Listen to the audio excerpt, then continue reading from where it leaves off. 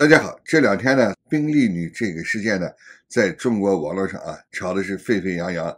就包括这个刁帆侠胡锡进呢，也出来对此事呢发了一个评论，就是说呀，这些官太太，包括这些富人呀，要保持低调，要不然的话呢，将对你的老公与不利。有观众呢也让我聊一下这个事儿。那么我看大家呢都在反复聊这个事儿，我就琢磨呀，如果我把这个事呢顺着别人那个话题再说一遍呢，也没有什么意思。那么通过这两天的观察呢，我觉得这个事情呢也是在不断的变化，所以我今天出来呢，跟大家一块开个脑洞，看一看姜太公这样分析呢有没有道理。那么事情的起因呢，就是在深圳的一个高档小区呢，为了争夺一个车位，这个事情呢，实际也是一个很普通的事情。但是为什么引爆了舆论圈呢？首先第一个呢，是这个小区里头住的人呢非富即贵，因为这个小区每平米的均价呢。达到了十八万，几乎每套房子呢都超过了两千万。那你想拥有这样身价的人，肯定不是一般的人嘛。第二个呢，这两个发生争执的车主开的车呢，也是引人注目的。据前期的报道呢，说停到这个车位上的车呀，是一辆劳斯莱斯，这个女车主呢开的是一辆宾利。你想，这两部都是豪车呀，一部车都得几百万，那也不是一般人能开得起的。那么这里头最引人关注的是啥呢？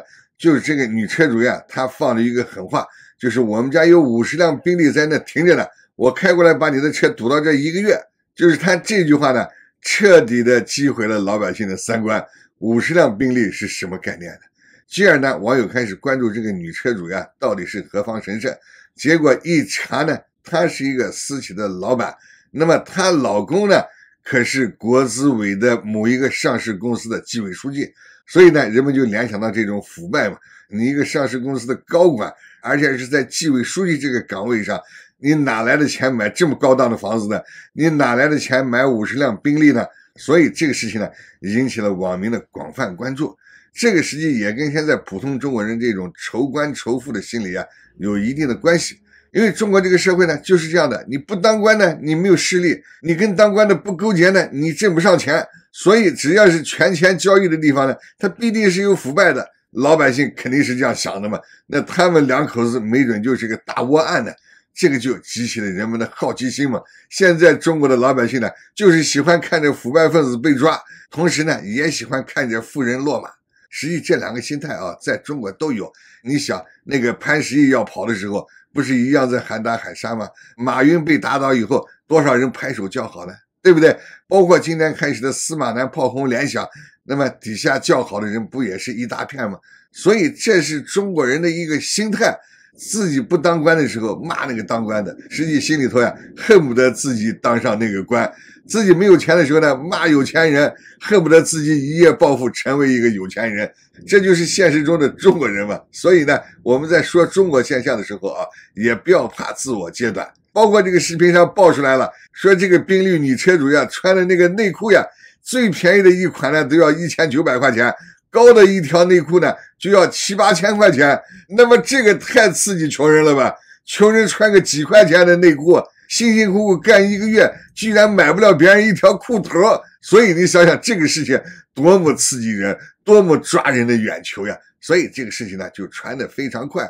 那这个事情发酵以后呢，深圳国资委坐不住了，就是连发了两篇微博呢出来辟谣，就是澄清大家说的这个国企高管呢实际是单身。他跟这个女的呢是男女朋友关系，那么网友呢马上又扒出来了他俩的这个结婚照，而且酒席都摆了。那么你国资委说他是男女朋友关系呢，老百姓也是不认账的。国资委一看呢，网民把这些照片都晒出来呢，又说呢他俩呢虽然在一起住着，摆了这个结婚酒，但是呢没有领结婚证。说法律上说呢，他还不是夫妻。这个国企的张某某呢。一年的工资呢，也只有三十八万块钱。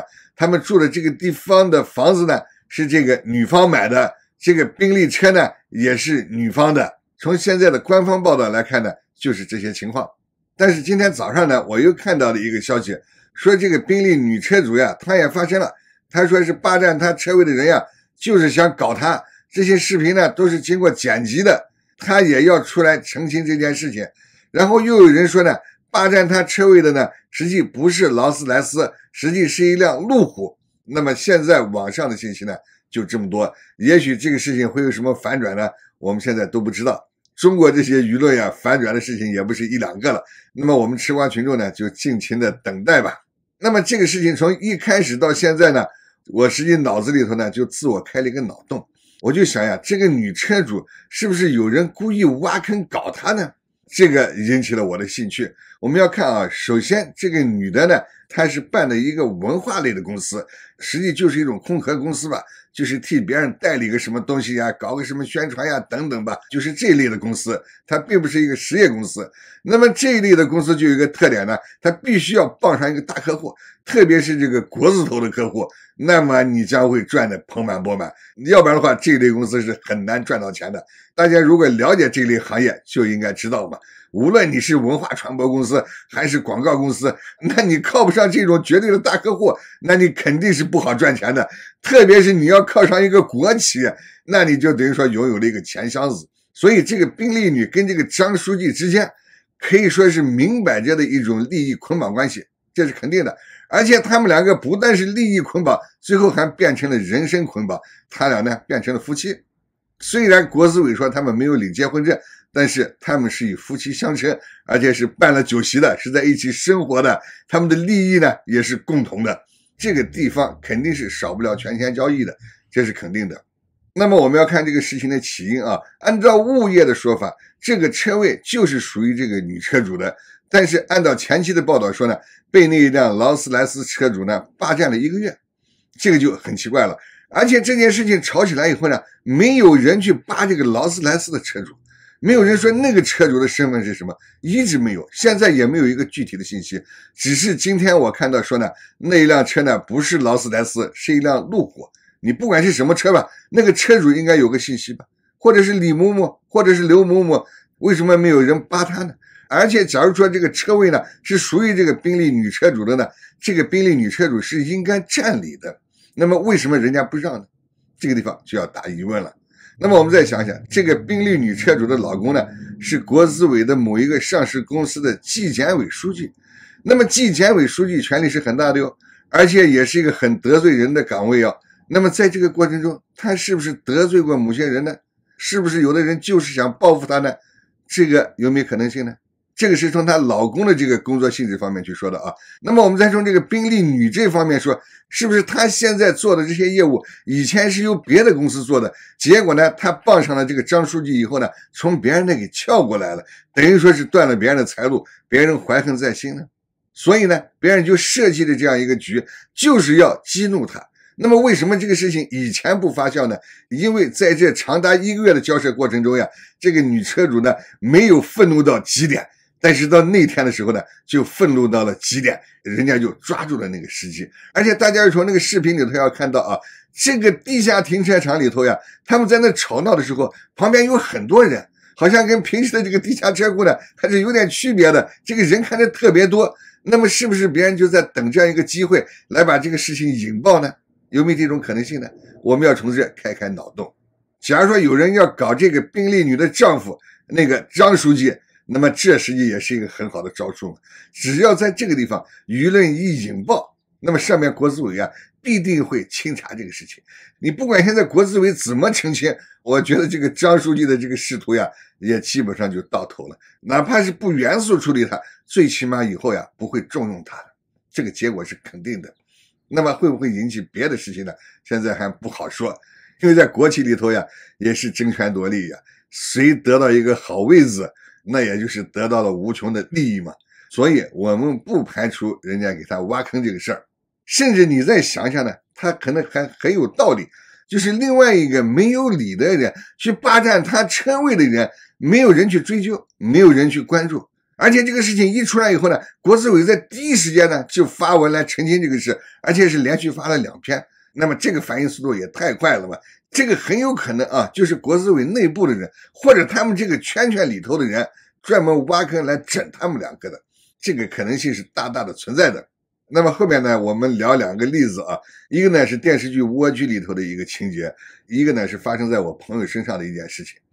那么电视剧《蜗居》里头那个，大家都知道，纪委盯上了这个秘书长宋思明以后呢，无从下手，因为宋思明这个人啊非常谨慎。